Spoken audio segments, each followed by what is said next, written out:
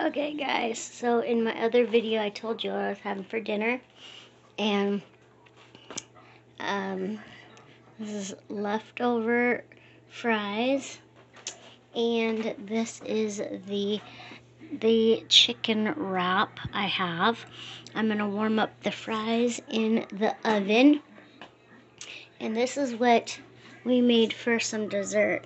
They're supposed to be muffin tops. They're like banana honey muffin or honey muffin banana muffin tops or something like that. And we had those a little bit earlier. So I'm to warm these up in the oven. I'm just waiting for the oven to warm up. And I'm I think I'm to either eat this at room temperature or um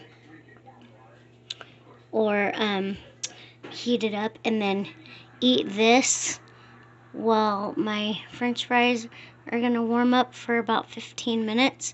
This is pretty filling. I ate the other half and I didn't keep all the fries.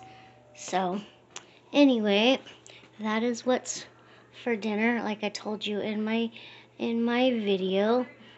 It's no longer my birthday. It's now February 27th, 2023.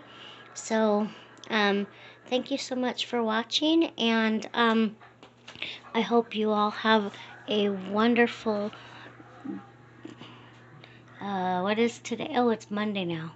I hope you have a wonderful week, and don't forget to like, subscribe, and share with your friends.